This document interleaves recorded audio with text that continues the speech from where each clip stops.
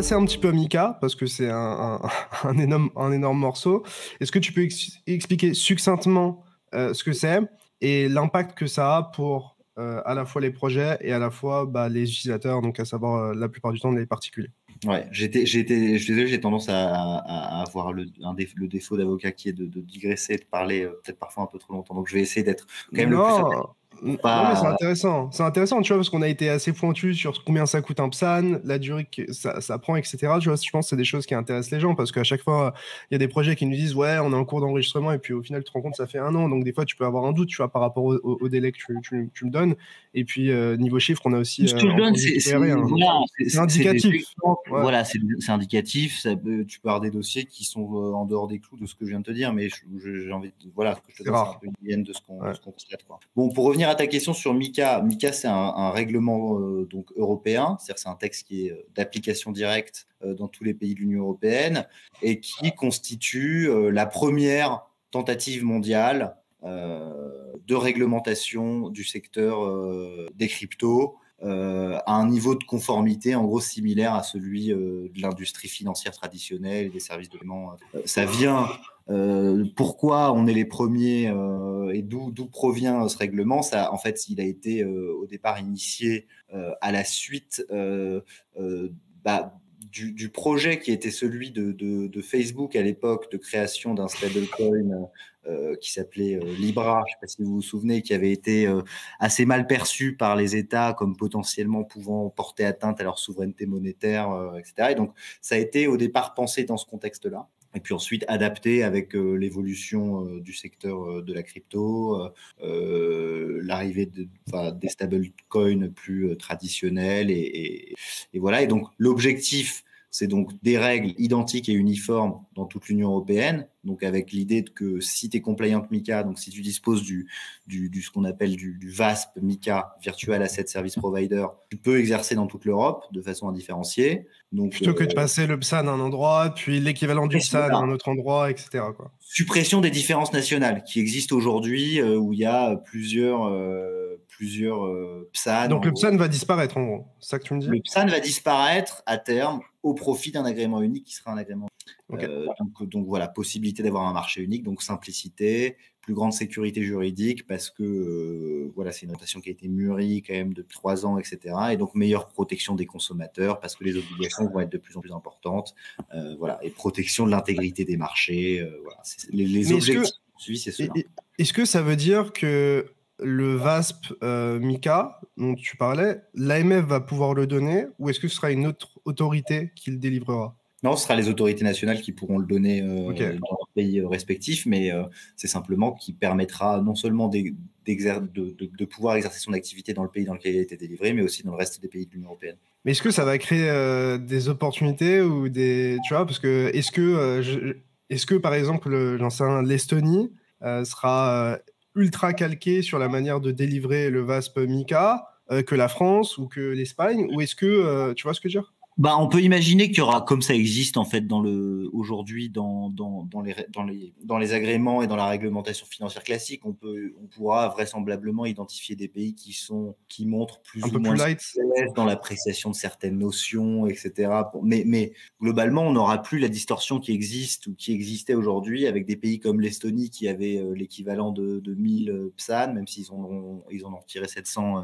il n'y a pas très longtemps, et des pays. voilà, on n'aura plus de différence de fonds euh, aussi importante qu'on a pu constater aujourd'hui. Ce sera la même réglementation avec des, doctrines ou des interprétations qui pourront changer sur certains points en fonction du régulateur, mais globalement, ce sera, ce sera euh, relativement harmonisé. Quoi. Ok. Voilà. Et donc, donc pour voilà, donc création d'un régime de, de, qui vise à encadrer, euh, à encadrer les, les, VASP, comme je le disais, donc les, sociétés qui proposent des, des services. On standardise. Voilà, euh, encadrement des stablecoins, euh, euh, encadrement des offres au public de jetons, les, bonnes vieilles ICO, et instauration de, de, de, En fait, on va combler les trous qui existaient aujourd'hui, c'est-à-dire que on va prévenir et sanctionner les abus de marché, les délits d'initiés, etc. ce qui aujourd'hui qui aujourd'hui ne s'appliquait pas en matière de crypto. C'est-à-dire que c'est une bonne chose. Initié par exemple n'existait pas, ne s'appliquait pas aux actifs. Et voilà, voilà. Donc c'est une réglementation qui est assez complexe, qui est assez grosse, hein, puisque le règlement MiCA il fait plus de 350 pages, plus de 350 pages. Donc c'est assez complexe. Tu as dû lire. qu'on a, on a effectivement dû lire. On a fait une série d'articles d'ailleurs euh, sur ce que ça intéresse et qui veulent rentrer. Et donc, euh, et donc voilà. Et, peut-être juste un dernier mot là-dessus.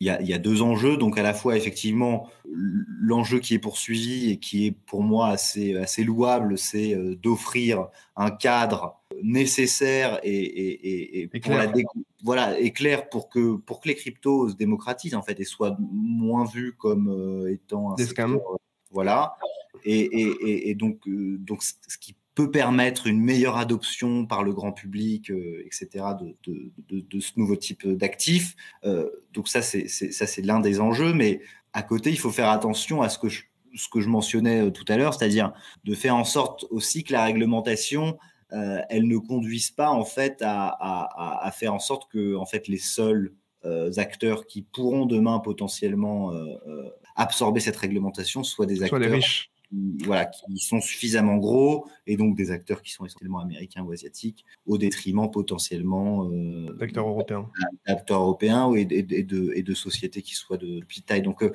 on va voir comment ça va se passer dans ces prochaines années, mais voilà, le, pour moi, les enjeux du texte, ils sont, ils sont sur ces deux points-là. Et quel impact euh, concrètement, euh, par exemple pour vos clients euh, ou même pour moi en tant qu'utilisateur de crypto-monnaie? Aujourd'hui, je, fais, pas, je fais mes transactions sur MetaMask, j'envoie des fonds à gauche, à droite, je trade sur des exchanges où je suis pas KYC. Voilà. Qu'est-ce que ça va changer pour moi en tant qu'utilisateur final et aussi euh, pour, pour vos clients, je suppose, qui vont être aussi impactés directement d'une manière ou d'une autre? Bah pour, nos, pour nos clients, euh, euh, ce qui va changer, c'est, enfin, ce qui, ce qui va changer, c'est est-ce que oui ou non ils seront en capacité d'absorber cette réglementation? Ça, ça dépend de pas mal de facteurs, mais je dirais qu'il y en a deux en principe c'est de leur taille qu'ils ont euh, une taille suffisante, une activité suffisante, un service de conformité euh, suffisamment performant et avec des gens dédiés pour pouvoir absorber cette nouvelle réglementation. Parce que si tu es PSAN, tu passes pas Mika direct, il faut repasser le Mika ou... Il faut repasser Mika, alors tu as des facilités, il y a des ponts, par exemple, tu as un délai de, pour te mettre en conformité qui est de 36 mois si tu es déjà PSAN, alors que si tu rien, tu as 18 mois pour conformité. Le, pour info, le, le, règlement Mika, il rentre en vigueur euh, officiellement, si je ne pas, demain. Donc Demain, il rentre en vigueur avec, euh, il faut pas être compliant demain, hein, avec, euh, avec un, délai qui varie en fonction de déjà quel est euh, le statut réglementaire dont tu disposes aujourd'hui. En gros, Mika, il va être, c'est à peu près calqué sur, sur les obligations qui existent pour l'agrément PSAN, pas l'enregistrement, l'agrément. Ce que tu veux dire, c'est que, par exemple, pour citer quelques noms, je sais pas, je suis un Bybit, je suis un BitGet, je suis pas euh, enregistré euh, en Europe potentiellement. Je suis pas renseigné sur toute la régulation euh, autour de, ces exchanges-là, mais voilà, en gros, j'ai 18 mois pour me conformer si j'ai pas le PSAN. 18 mois pour se conformer, exactement, pour obtenir l'agrément MICA. Sinon, effectivement, pas le droit de targeter le marché. Les marchés européens, quoi et donc avec des mesures. Donc pas de marketing, pas de conférences, pas de publicité dans le métro, pas de publicité sur Internet.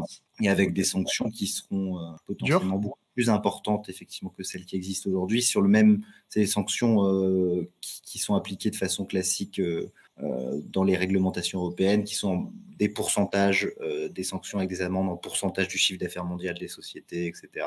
Et donc on, là, là, on arrive sur, euh, voilà, sur, sur un niveau de réglementation qui, voilà, on est plus une sur. bonne chose en vrai. C'est enfin, bah, concret parce que jusqu'à maintenant, c'était attention, une fois, attention deux fois, attention trois fois, et tu vois qu'il se passe rien. Donc euh. voilà, là, là, on est là, on est sur des sanctions qui potentiellement, voilà, qui, qui vont être effectivement dissuasives avec euh, potentiellement, euh, voilà, des, des, amendes qui montaient à plusieurs millions.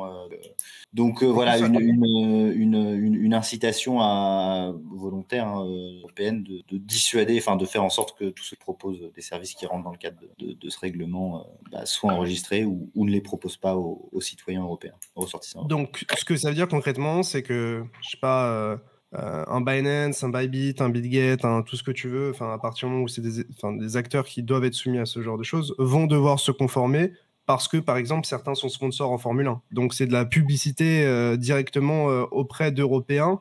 Et donc, ça, ça, techniquement, c'est soit ils arrêtent d'être sponsors, soit ils sont compliant, quoi, d'une manière. Enfin, ils vont être obligés de, de, de passer assez rapidement, Mika. Ok.